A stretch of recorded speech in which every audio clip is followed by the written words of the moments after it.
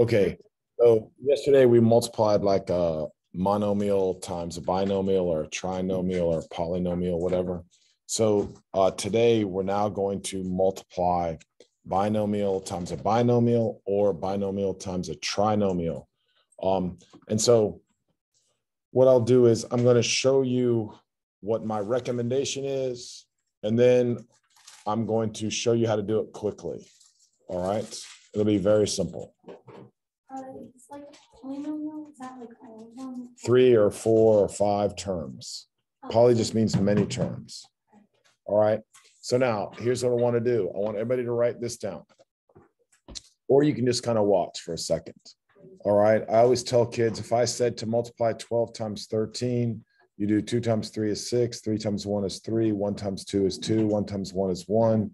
Then you add. Okay. Guess what? We're doing the same thing. It just doesn't look like it. All right. We're doing the same thing. It just doesn't look like it. It's really simple. There's a pattern to it. It's really simple. There's absolutely nothing to it. You just have to pay attention. All right. So I'm going to do is I'm just move this out of the way now for a second. And we're going to come up here and I'm going to show you m plus four. Then you write right underneath it m plus one. Then just multiply just like the old days. So you do positive one times positive four, which is positive four. Then you do positive one times positive m, and that's m. Then you do m times four. And m times four is positive 4m. And then you do m times m, which is m squared. And then you add them together. So it becomes m squared plus 5m plus 4. That's how easy. All right. Now, one more time, look up. Positive 1 times positive 4 gave me this positive 4. Then I did positive 1 times m. That gave me this positive m. Then I did m times positive 4, which gave me this positive 4m. Then I did m times m and got m squared. And then I added them straight down. Is everybody with me on that? All right, so let's do number three. All right, let's do number three. All right, so here we go. Does it matter which one you put on the top or the bottom? No, No, thank you. All right, so now when I multiply, what's positive three times positive four? Well, positive Right, positive 12. What's four times b? four B. Four b. Yeah, four. B. What's b times positive three? And then what's b times b? Add them together.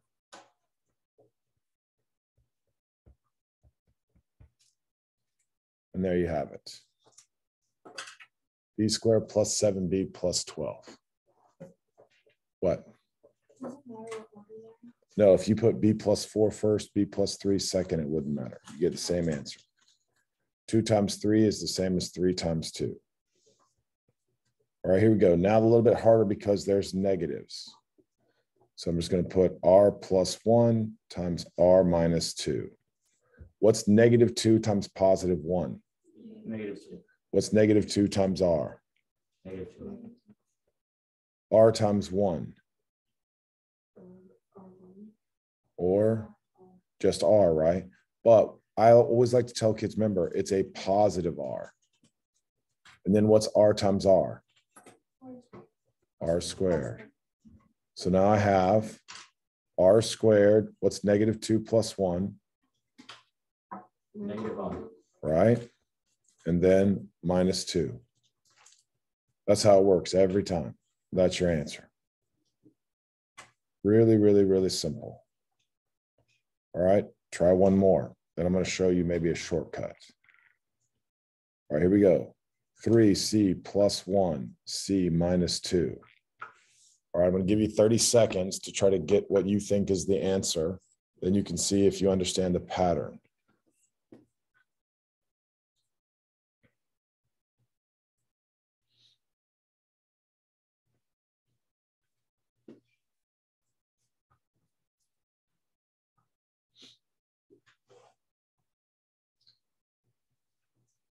All right, here we go. Negative two times one. Negative two times three C. C times one. Now here I like to say it's positive C. And then what C times three C? Now we just add. So my final answer is, Negative five C plus three C squared minus two. Yeah, but you put it in order. 3c squared minus five C minus two. Um, you always write in descending order. What I thought you meant was this. What I thought you meant was this. Does it matter what order you put them when you're multiplying? Okay. So yeah, put them in descending order, or we say standard form. Anybody have any questions with that?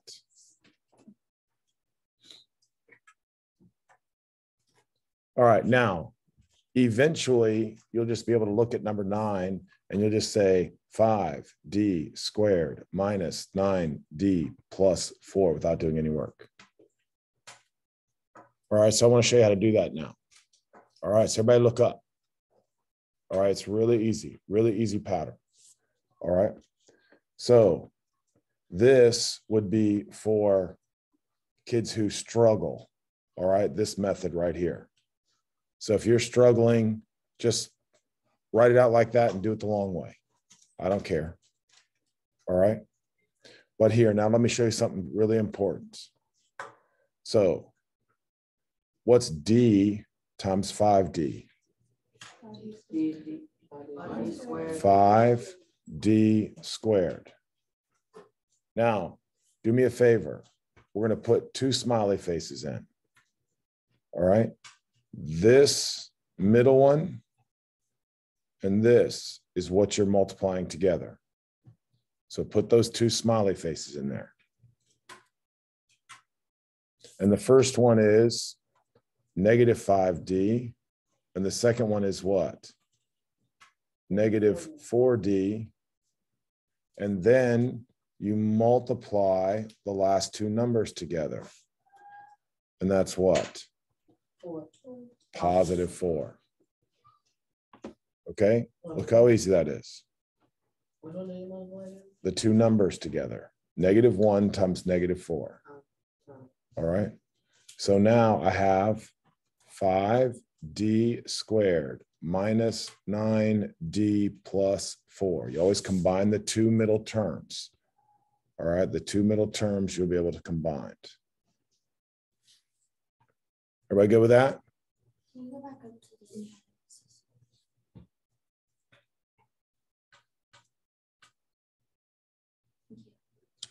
All right, here we go. Number 11. Okay, so here we go. What's 3n times n? Three and squared. 3n squared. Smiley face number one, how much is that? Negative 7n. Smiley face number two is how much? Positive 9n. And the number is Negative twenty-one. negative 21. Guys, it's really simple.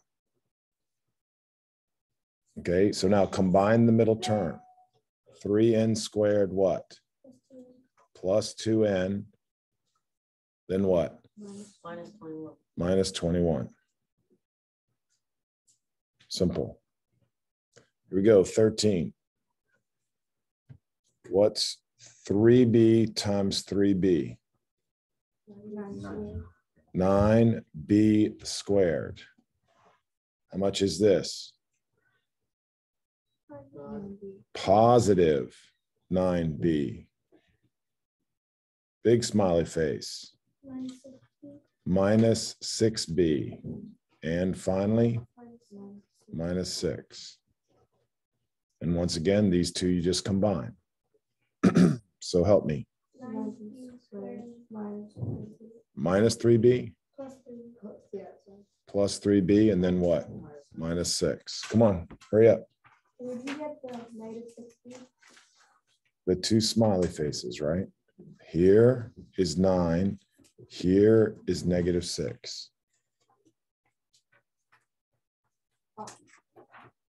That's it. For like number two, like the small ones?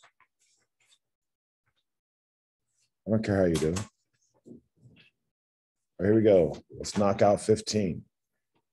All right, give you thirty seconds. Let's see if you can do it. See if you get it right.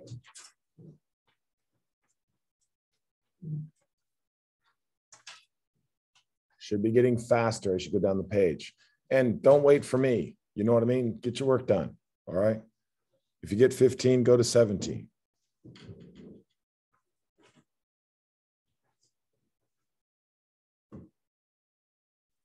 Bless you.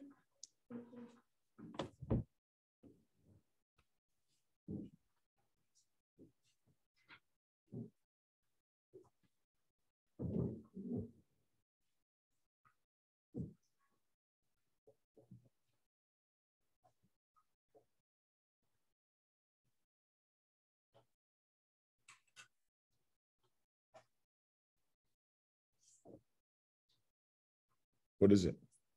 Um, DC squared plus C plus. Very easy. Good job, girl. Very good. Anybody have any issues? Anybody have any issues? Nobody? All right, let's knock out 17. Stay with it. Don't be lazy because 19 is a little bit harder.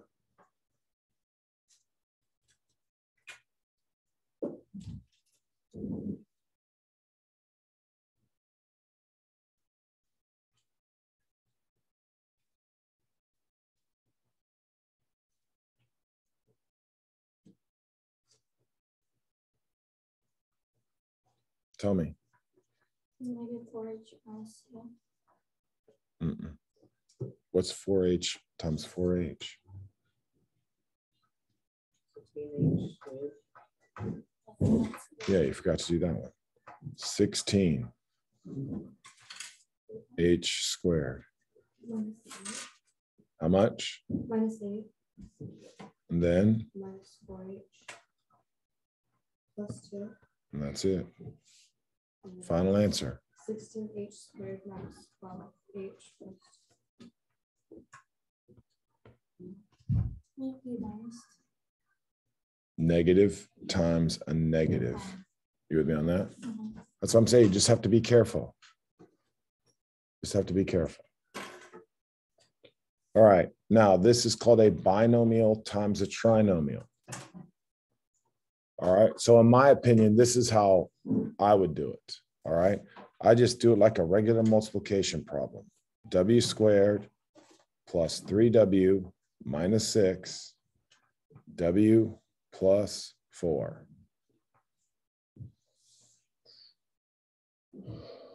There really isn't a shortcut to this one. All right, so this times this is what? negative Negative 24. Then you do four times positive 3W, twelve W, then four times W squared. Now, remember when you multiplied, you always put a zero here. Of course, we don't have to do that anymore because mm. we're smart. We just go, what's W times negative six? zero, six W, And we put it right with the W's. And then what's W times three W? Negative three W squared. Positive three W squared. And what's W times W squared? Exactly. And now you just add them straight down. What do we got? W cubed plus seven. It would be W, Right? Because when you add, they don't change, and then it would be six W, right? and then. That's how easy. Simple, simple, simple. All right, so here we go. Everybody try 21 now, all on your own, and then look up and see if you got it right.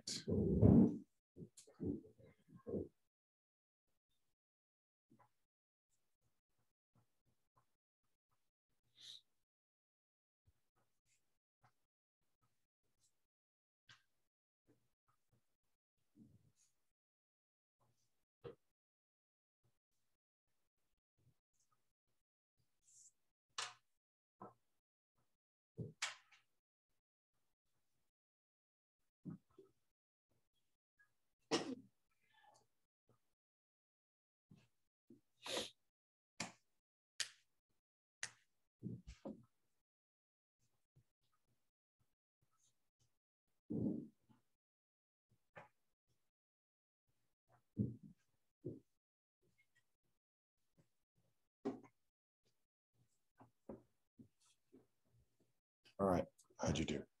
Good? All right, easy. You know how to do them all. Anybody have any, look up now, as soon as you get done with your work, bless you, bless you. Let's see how we're doing.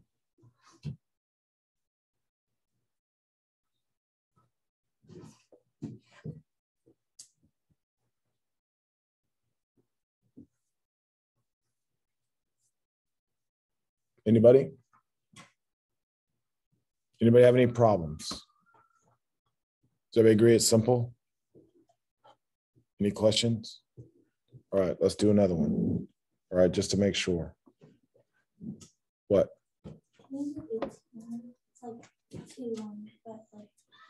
It's, just got two variables. All right, so I'm happy with you on that.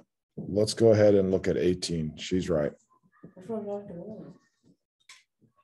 I wasn't listening to you.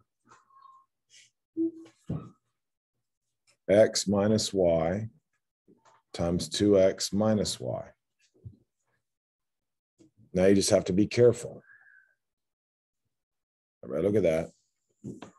What's negative Y times negative Y? Positive Y squared.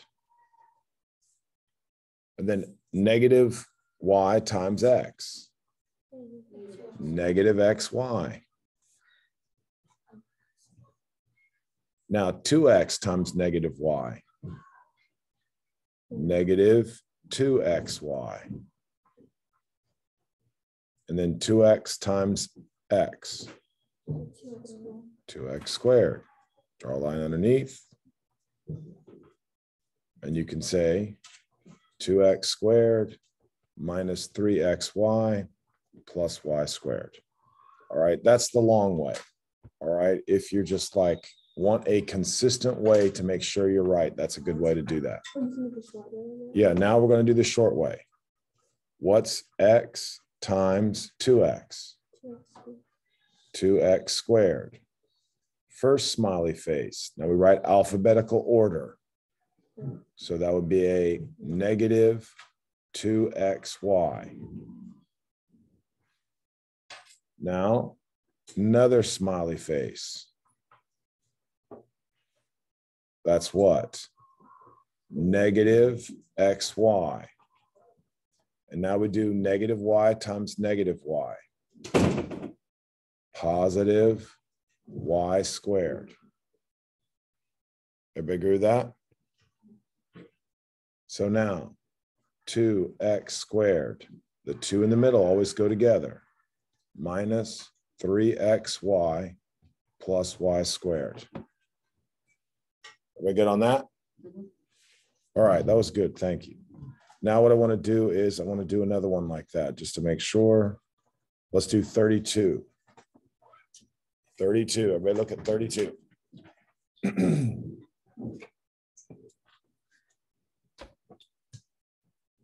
Okay, 4G times 2G. Somebody tell me. 8G squared. First smiley face.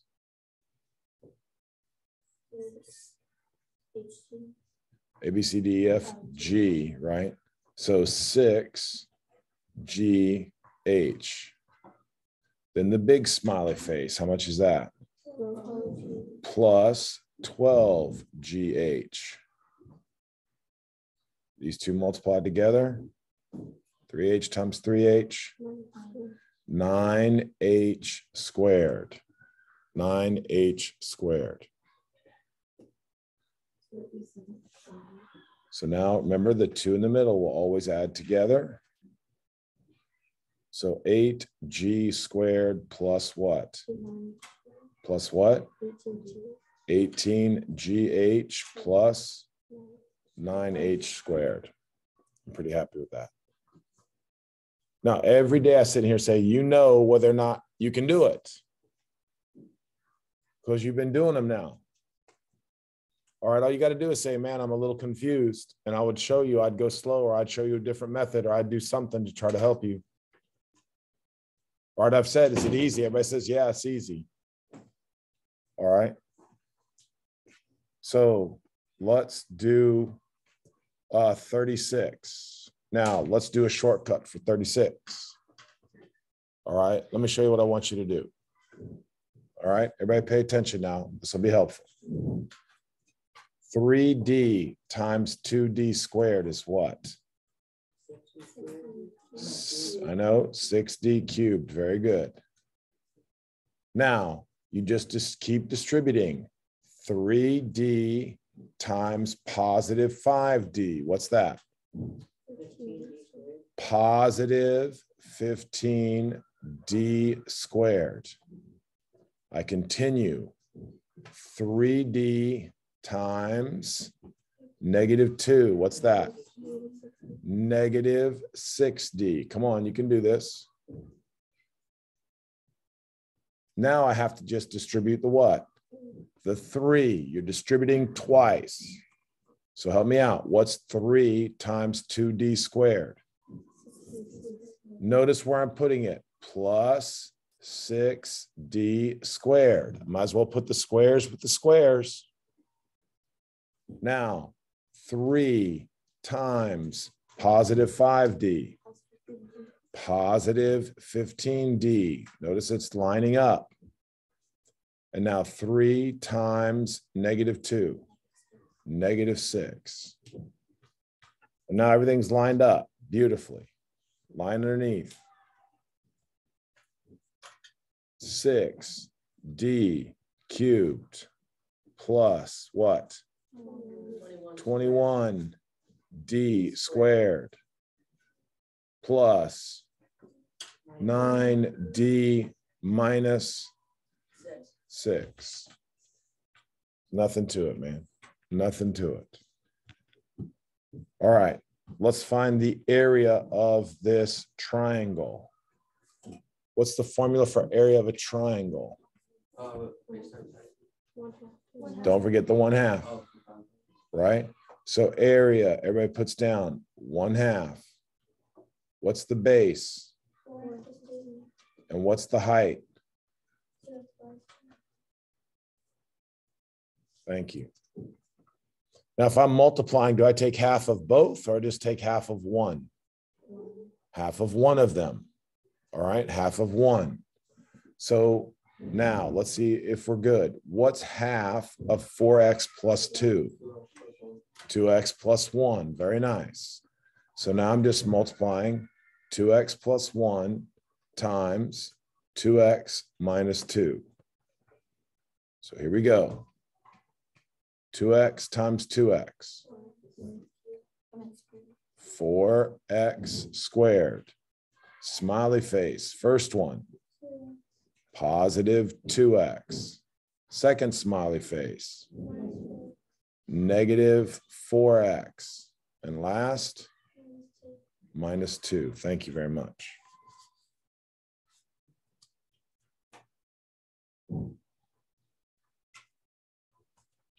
Combine the middle terms.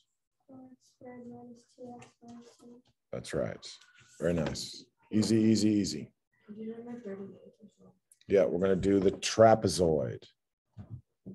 All right, I don't expect you to remember the formula for a trapezoid from last year, but area equals one half parentheses base one plus base two times the height. That was the formula. All right, now come on, someone be smart and tell me mental math adding the bases. Add the bases. Somebody tell me what that is when I add the bases. 8x what? Exactly. Everybody should be able to do that. And I'm going to put 8x minus 2. And then what's the height? Now, if you don't know how I got 8x minus 2, you can just say, hey, I just don't see that. Anybody have any? Because this is a base and this is a base. You just added them up. Very nice. Now, which one should I take half of? Yeah, 8x minus 2 because you can divide by 2.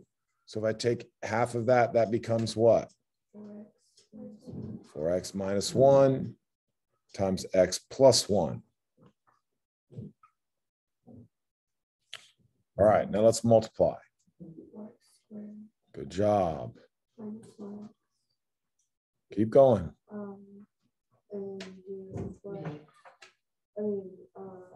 That's right. What kind of four x though? Yep. And then what? Look how easy that is. So my area is y squared plus three, x minus one. exactly easy, easy, easy, easy. What? Can we go back to thirty-six?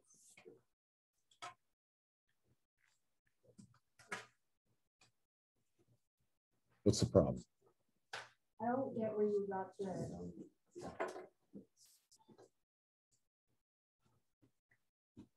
Oh, oh, oh. Good, good, good. I like when you figure it out on your own. All right, let's try an even integer. So x is an even integer.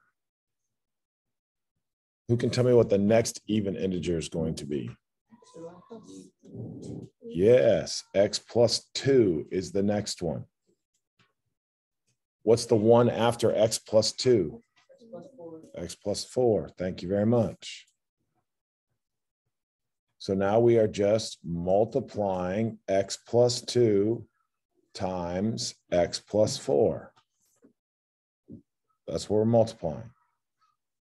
That wasn't bad. So everybody multiply that out, please.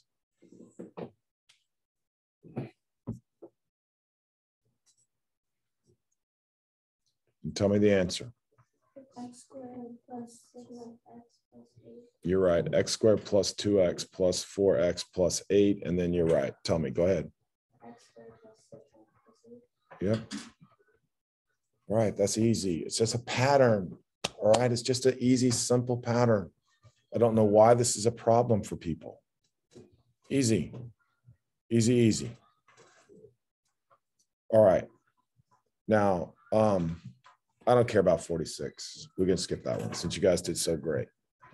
Okay. Now I, I'm I'm gonna tell you something. What what time's the bell ring here, guys?